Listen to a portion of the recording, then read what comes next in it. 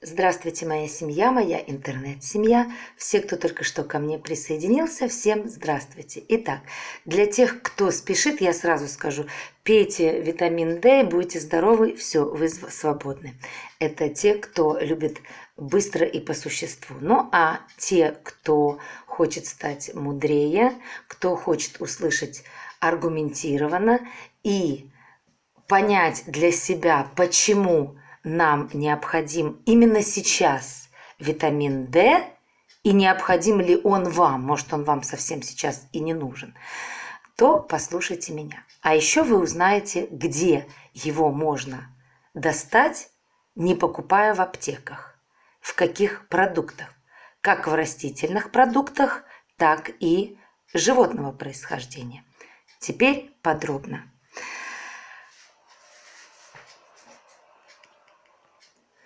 Ученые из Института мозга Квинсленд, город, они выяснили, что дефицит витамина D при рождении приводит к серьезным изменениям в активности мозга и может спровоцировать целый ряд заболеваний, включая тяжелые психические расстройства в виде шизофрении.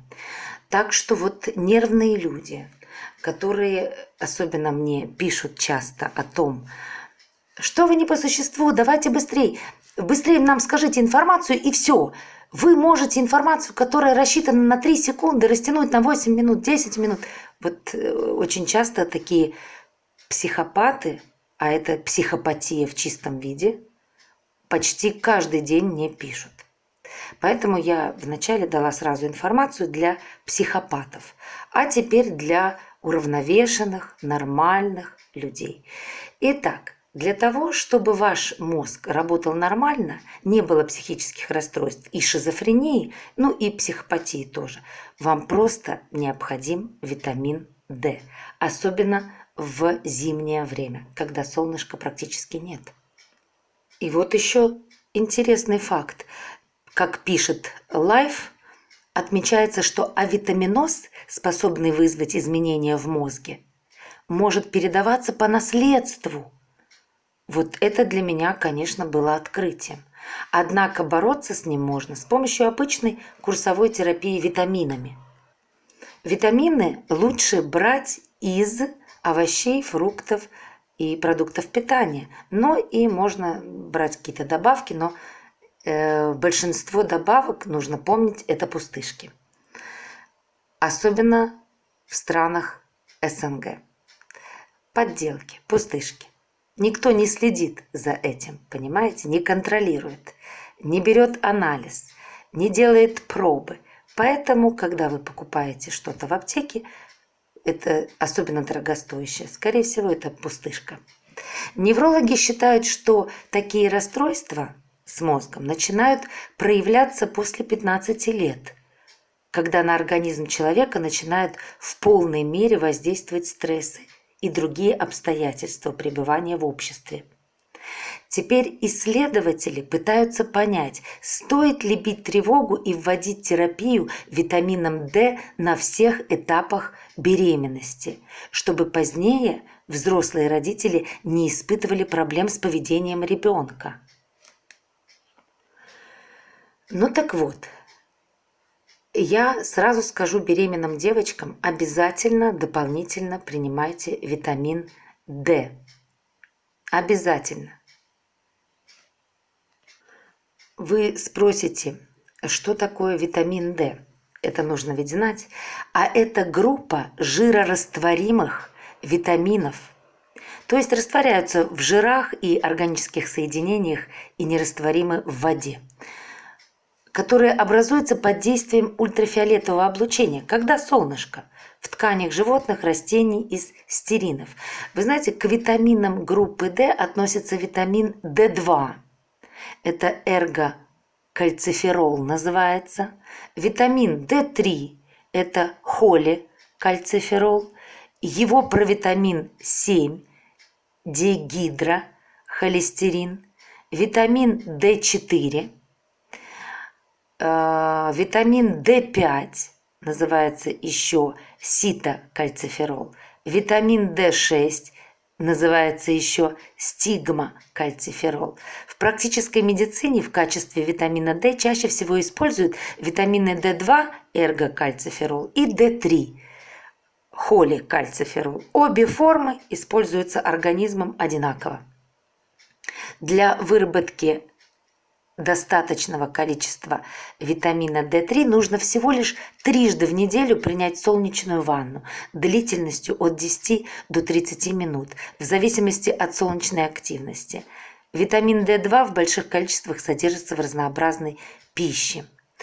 А вы скажете, ну если нету 30 минут солнца, ну нету вот зимой такого солнца. Вот почему, говорит, надо выходить гулять. Даже зимнее солнце прекрасно. Но ясно вы не можете принять солнечную ванну, раздеться и позагорать зимой. Что же делать? Существуют растительные источники. Вот сейчас вы видите э, перед глазами люцерну. Красивую люцерну. Вот так вот она растет. Вот эти фиолетовые вот такие цветочки и вот такие семена у нее.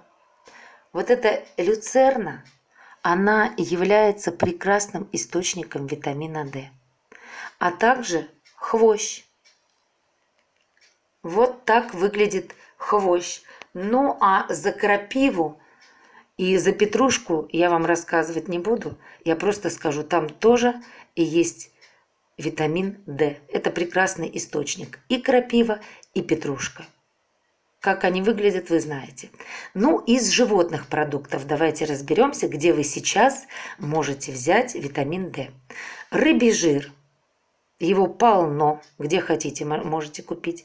И, или употреблять просто скумбрию или какую-то другую жирную рыбу.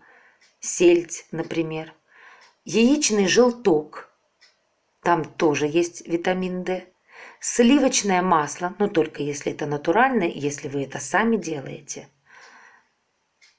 Сыр, опять-таки, если вы сами делаете сыр, я предпочитаю делать из козьего молока. Икру, молочные продукты, печень трески. Чаще всего продается, знаете, в таких желтеньких баночках – я покупаю. И вот так вот выглядит на тарелочке.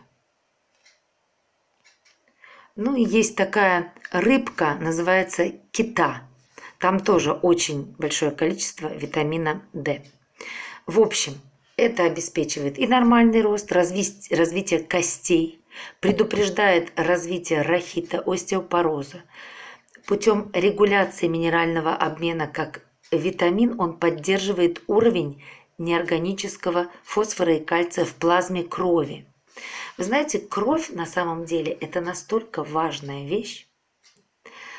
Сейчас такая есть разновидность рака крови, которая поражает молодых, молодых людей.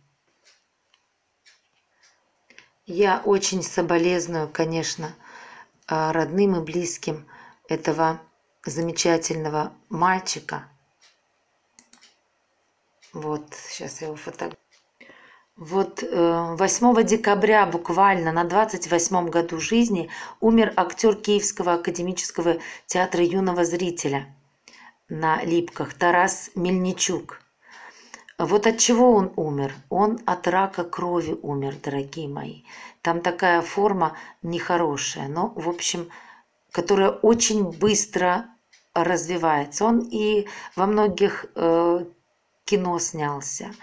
Он и на телевидении выступал, и в театре выступал, и закончил обучение в Киевском национальном университете театра, кино и телевидения имени Карпенко-Карого. В общем, он активно начал работать в театре и на телевидении. В 2013 году стал актером Киевского академического театра вот, юного зрителя на липках.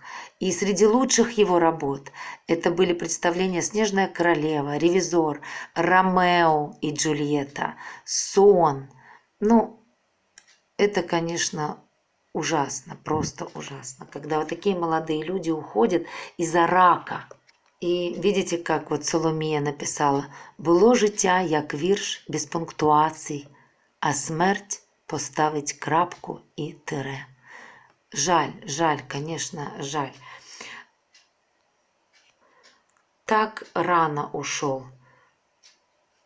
Но на все воля Божья, как говорится. Поэтому я, глядя на молодых людей, как они уходят один за одним, и какие диагнозы им ставят, я понимаю. Все равно я понимаю, что все это исходит от нас. Откуда оно взялось? Откуда так быстро начались э, делиться вот эти вот клетки и вот это все произошло? Во многом зависит от нашего образа жизни и питания, и то, что мы в себя вкладываем. Поэтому очень-очень необходимо задуматься, задуматься, почему такое количество сейчас рака. Почему? Боролся он три года, вот последние три года. И химиотерапию делали, и что только не делали. И нет, все равно, все равно ушел.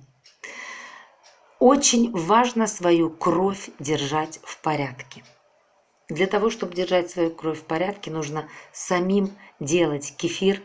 Я еще раз говорю и подчеркиваю, самим. То, что вы купите в магазине, это не кефир. Это не кефир. Не может из порошка вот такой тянущийся быть кефир. Такого быть не может. Уже и анализ брали, и просматривали, сколько там крахмала, сколько там всякой ерунды – даже от кефира, от такого можно заболеть. Значит, мы делаем сами кефирчик. Лучше всего козий. И как можно больше добавляем в этот кефир красных ягод, всяких. Это может быть и смородина, и малина, и клубника, и другие ягоды, какие хотите. Э, особенно хорошо то, что я вам сейчас перечислила. Прекрасно облепиха желтенькая тоже добавить. Перемалывать все и пить. Пить как можно чаще. Можно добавлять мед. Но со сладким я прошу вас, не шутите. Что такое сладкое? Сладкое – это среда питательная для раковых клеток. Они очень любят сладенькое. Сладкое и жареное – это просто их. Поэтому, дорогие мои, Обратите внимание на то, как вы сейчас себя обогащаете витамином D. А ведь витамин D – это именно кости и, и кровь. И кровь. Потому что, как я уже говорила, обеспечивает нормальный рост развития костей. И он поддерживает уровень вот этого фосфора и кальция в плазме крови, о чем я проговорила уже и повышает всасывание кальция в тонкой кишке. И тогда, после того, как мы витамин D выпили, через некоторое время мы пьем вот такой вот кефирчик, йогурт-тире с вот этими всеми красными и не только ягодами. И таким образом у нас 100% всасывается кальций в тонкой кишке без витамина D, сколько бы вы кефира, молока или творога не ели, не пили бы, если у вас нехватка кальция, э, витамина D, кальций у вас никак не всосется. Потому что кальций всасывается через тонкую кишку, через капилляры. Вот и потом начинает уже расходиться через кровь во все наши органы. Ну, а если вы себя балуете красной икрой и своих родных и близких, то это вообще замечательно. Поэтому не забывайте, хотя бы по праздникам, если вы не можете э, раз в месяц покупать э, что-то, рыбку жирных сортов, но только морскую. И речь идет только о морской рыбе. Ни в коем случае не озерную, не пресноводную, нет, только морскую. Если у вас есть возможность баловать вот красной икрой или треской, вы можете чередовать, то витамин D, он еще в качестве гормона оказывает влияние на клетки кишечника. Он стимулирует выработку белка-носителя, необходимого для транспорта кальция. А еще почек и мышц усиливает репсорбцию кальция. Что еще делает витамин D? Какие действия? Да он способствует мышечному тонусу, повышает иммунитет, необходим для функционирования щитовидной железы и нормальной свертываемости крови. Не забывайте, тонус мышц, то есть затормаживает старение. Вы не стареете. Вот почему японцы в большинстве своем – выглядят великолепно, потому что они практически всю жизнь сидят на морепродуктах. Что еще витамин D делает? Он помогает организму восстанавливать защитные оболочки, окружающие нервы, участвует в регуляции артериального давления и сердцебиения и, самое главное, препятствует росту раковых клеток. Услышав вот эту новость, нехорошую, про такого замечательного актера и такого молодого, я решила безотлагательно сделать вот это видео и напомнить, всем напомнить, не расслабляйтесь, работайте над собой. И ваши детки – это то, чем вы их кормите. Делайте это на постоянной основе, регулярно. Вот что важно курсом, курсом, курсом. Не расслабляйтесь. Никакие макароны вас не спасут в этой жизни. Макароны вообще можете выкинуть и никогда не давать. Давайте вместо макарон замените гречкой, замените великолепнейшей чечевицей. Соевые бобы покупайте, покупайте фасоль, покупайте спаржу. Не пичкайте белый рис, можно э, коричневый рис. Белый рис – это отрава. То же самое, как и картофель. То же самое, как и мучные изделия. Кого не спросишь из деток, что кушали? Макароны. Да вы что, какие макароны? И проконсультируйтесь со своим доктором обязательно, сколько вам в сутки употреблять витамина D. И еще знаете, что хочу сказать? Что при лечении большими дозами препарата витамина D рекомендуется одновременно назначать витамин А, ретинол, а еще аскорбиновую кислоту С и витамины группы В. Это вообще будет идеально. Ну а я люблю вас. Будьте благословенны, будьте здоровы и не болейте. Пока-пока.